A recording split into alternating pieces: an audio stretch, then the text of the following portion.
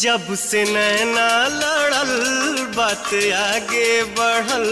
जब से नैना लड़ल, बात आगे बढ़ल। रोज अखिया